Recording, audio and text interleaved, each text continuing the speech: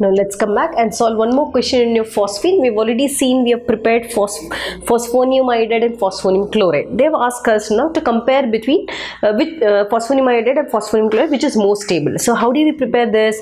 We have taken ph3 and i added hi to this. Then i got it's going to share uh, donate this electron pair. I got ph4i now here what, how did i get ph4cl i have taken phosphine i added hcl then i got ph4cl simple. Now they're asking me among these two which is more stable. Let's come back and see.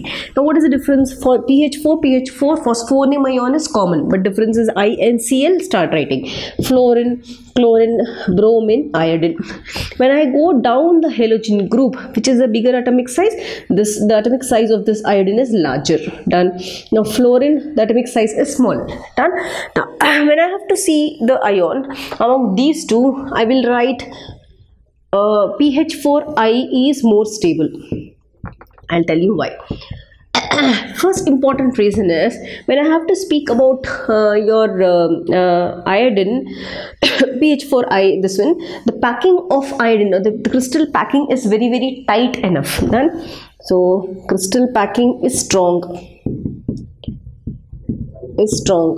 When the crystal packing is strong, lattice enthalpy or that means amount of energy to break that crystal lattice will be high or less.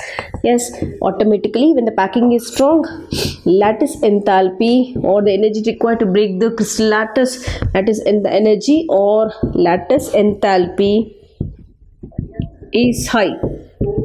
When lattice enthalpy is high, automatically the system or the pH4i is strong enough or stable, isn't it? Hence, pH4i is stable compared to compared to pH4Cl that's it. So key points. This is one key point. This is the second key point.